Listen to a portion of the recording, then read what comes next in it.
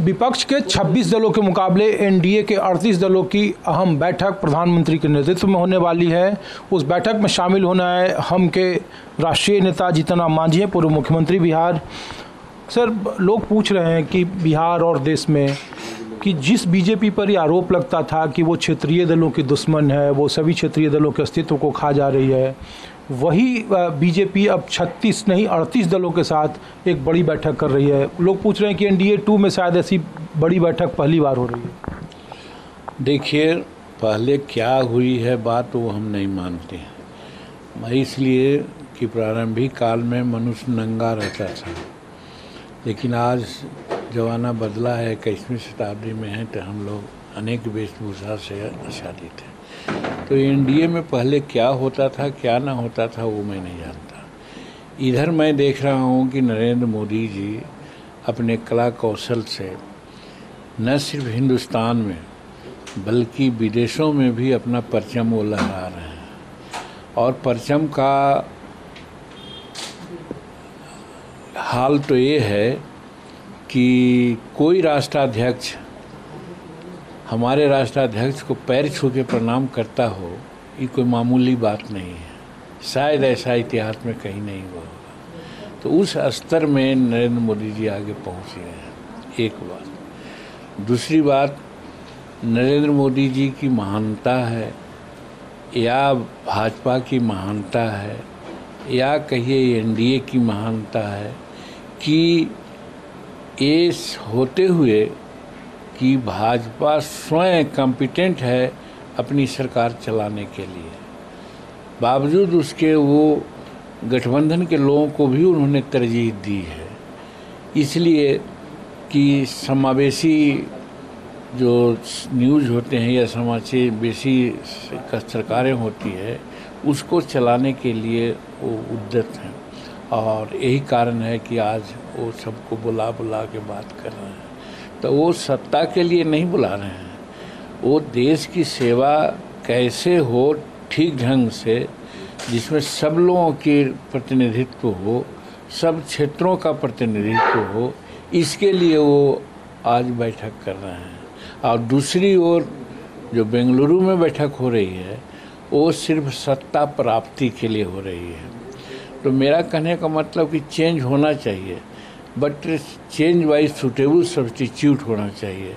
तो नरेंद्र भाई मोदी जी का कोई सब्सटीट्यूट अभी हिंदुस्तान में नहीं दिखता है। और जहाँ तक विरोधी का सवाल है, आप सुनते होंगे कि बेंगलुरु में जिस आदमी को कन्वेनर बनाने की बात चली थी, उसके खिलाफ वहाँ बहुत तरह का पोस्टरबाजी हो रही है। ममता बनर्जी कुछ बोल रही हैं। और केजरीवाल साहब बहुत मनाने पर कांग्रेस के लोग यहाँ पर आए कि भाई यहाँ देश का हम आप समर्थन करेंगे तब। तो कहने का मतलब कि आपस में ही अभी ये लोग एक नहीं हैं। इसीलिए अनेकों लोग मिल करके कोशिश कर रहे हैं, दिखला रहे हैं कि हम लोग एक हैं, लेकिन सब अलग अलग हैं। इसलिए इन लोगों का पार्टी, इन लोगों का बैठक सत्ता के लिए है, जिसका नेतृत्व कोई नहीं करने वाला है, और वहाँ नरेंद्र मोदी जी मज़बूत खंभा हैं, और उनके नेतृत्व में सारी बातें हो रही है कि देश को कैसे आगे बढ़िया से ले जाया जाए, ताकि सभी लोगों का प्रतिनिधित्व हो और सभी लोग का भला हो। एक छोटा सा और आखिरी सवाल है, सर, कि लोग ये पूछ रहे हैं कि चुनावी राजनीति में 2015 में इसी बिहार निवास में जब एनडीए का वही कुनबा, आप थे उपेंद्र कुशवाहा थे, रामविलास पासवान की पार्टी थी। और आखिरी आखिरी वक्त में, आधी रात में देखिए कैसे गृह मंत्री के पास आप लोग गए थे। और आपसी जो कहते हैं कि गुलदस्ते में जो फूल एक साथ नहीं आ पाए थे विधानसभा के चुनाव में, लोग पूछ रहे हैं कि 2019 में जो छोटे छोटे राजनीतिक दल हैं, जो क्षेत्रीय जिनका अपना वजूद है और वो बैसाखी का काम करेंगे बीजेपी के पास। तो क्या आपको लग रहा है कि जो फार्मूला है, जो राजनीतिक प्रतिबद्धता है आपके सपोर्टर समर्थकों के बीच में, आपके अपने सहयोगियों के बीच में, क्या वो फार्मूला एनडीए बिठा पाएगी?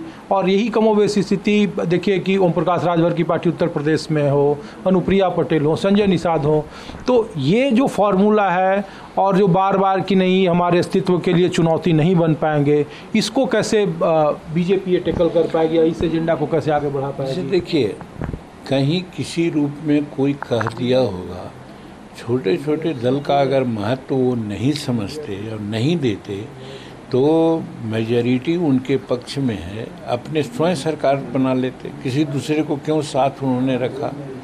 तो जब साथ उन्होंने रखा तो एक उदार विचार है, एक ब्रॉड थिंकिंग है।